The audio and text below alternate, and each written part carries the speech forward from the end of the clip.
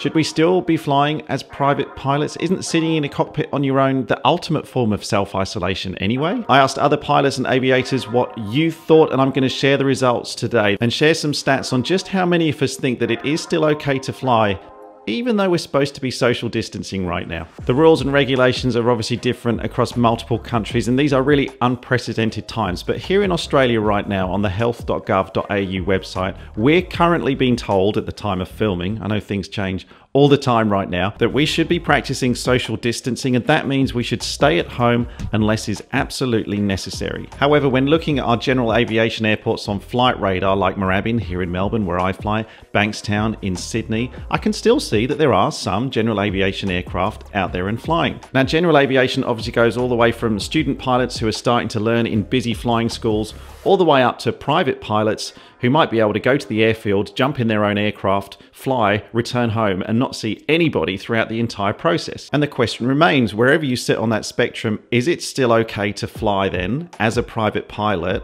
during these times? So, whilst it seems that some aspects of private aviation are continuing to move along at some extent, commercial aviation obviously has been hit hard. Thanks to Patrick Itis, who sent me some of these pictures on Instagram. These are great shots. He was down at Avalon Airport, and you can see the Qantas A340s, there's the Jetstar A320s that are just parked up and not going anywhere. And yet, if you pan up from those aircraft and look up into the sky, you can literally see general aviation and private aviation aircraft doing their training at Avalon Airport. Students are shooting the ILS just like I used to do a couple of weeks ago. Is that okay? So I asked your thoughts on this on my Instagram account, and thank you. I was inundated by messages. I gave you the option to remain anonymous if you wanted to. A lot of you asked to remain anonymous because you're obviously talking about a fairly delicate subject here. But what I've decided to do is just to keep everybody anonymous because this isn't about judgment to the individuals. This is purely about what's the kind of landscape like at the moment and what do other pilots and aviators think about flying privately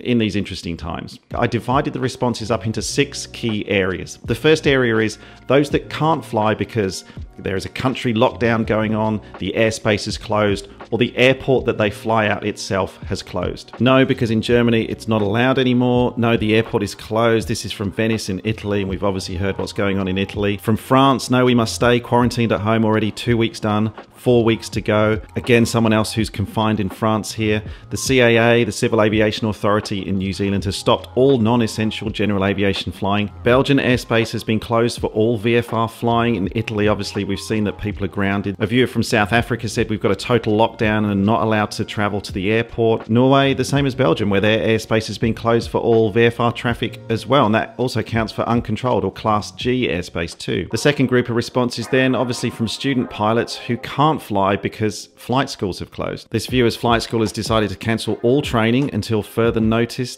Another person's flight school is closed and their airport on top of that has closed as well. Another flight school that's closed. The flying club has stopped all operations and all training. RMIT, which is down here in Melbourne, has understandably ceased training, according to this user, for the near future. The third category, and this is the one that really got to me, and there weren't a lot of responses in here, but the ones that you read are genuinely heartbreaking because these are the people whose jobs have been temporarily suspended, the work just isn't there, or their jobs have ended entirely. This viewer is a commercial pilot. The company they work for has basically shut down. A helicopter pilot has said that all the tours have been cancelled. Someone who flies privately, but obviously, like the rest of us, we have to find money to fly privately. They no longer have a job, so they no longer have the ability to pay for their flights. And this user was supposed to be moving to the USA for a new job, but obviously, with the travel restrictions, that's not happening right now so their future's entirely unknown. Then the next three categories are all the people who have a choice, so they can fly privately, but are these people choosing to or choosing not to fly? This person's a recently graduated pilot. Obviously, they're so unlucky with the timings at the moment. No, I put my PPL training on standby in order to minimize any risks. Not flying at the moment, reason being the lockdown here and trying to take no unnecessary trips. With flight training, I've decided to stay away until things start to calm down and get better. In a flight school situation, this person's obviously worried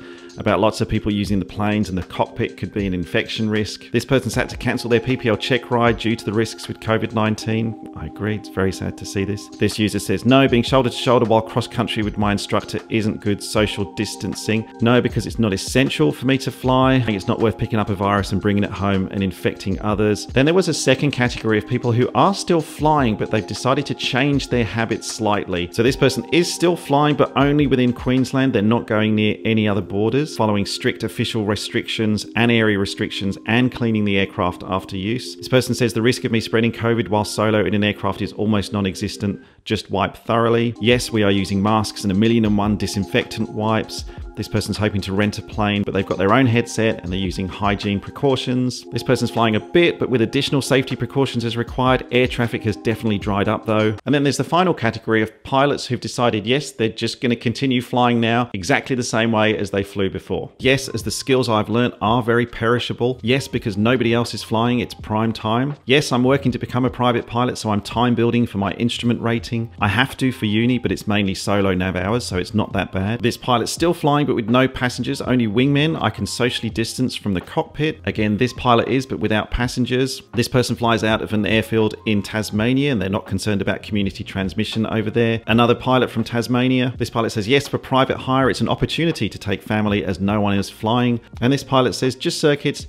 too hard not to if the skies are blue. So what I decided to do was to go through every comment then and categorize it into each of those six areas. But just for interest, here's a bit of a breakdown then on how people answered that question. Are you still flying during these coronavirus pandemic times? Of all the responses I got from those that can't fly at the moment, here's a breakdown on the three key reasons why. 10% off you weren't flying because the company you work for has closed or the job that you had in aviation no longer exists. Then if the remaining responses, it was exactly split 50 50 between the fact that either the airport itself has closed or the flying school that you're training at has closed. I then took all those people out and then only looked at those who can fly. Of those of you that have a choice to fly, 8% of you said that you are still flying, but you're being more cautious about it. 29% of all responses said that no, in these times, you're just choosing not to fly at all. But 63% of all respondents who had the option of whether you can fly or not came back and said, yep, you're going to continue flying exactly as normal. I asked the same question on Instagram just with a basic yes no split. 71% of you saying yes,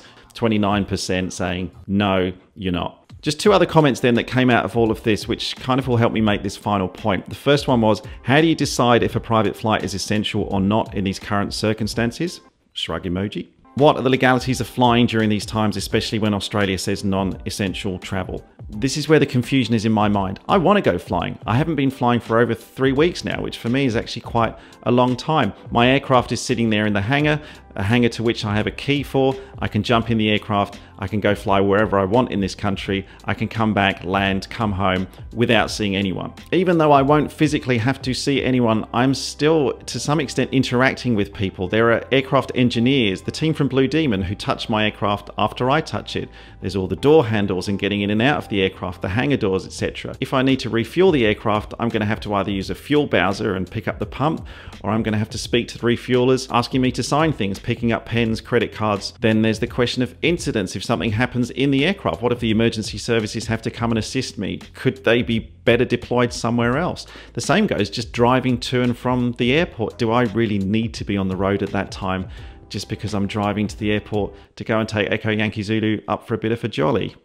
So if you're at home not flying, or if you are out there and flying and you want to share your stories with the community, remember there's no judgment here. Whatever people say down below, please don't jump on other people's opinions, but share honestly and genuinely how you're approaching this time at the moment. I genuinely do go through the comments, especially in the first few hours after releasing a video. So I'd really love to interact with some of you and, and just hear what you're doing in these interesting times as a private pilot. Okay, give us a like if you enjoyed that. If you are new to the channel and you love your aviation, do click on subscribe. I promise the moment we can all get out of here, I'm going to be putting a lot more interesting non-sitting at desk based content here on the channel for you fellow aviators and pilots.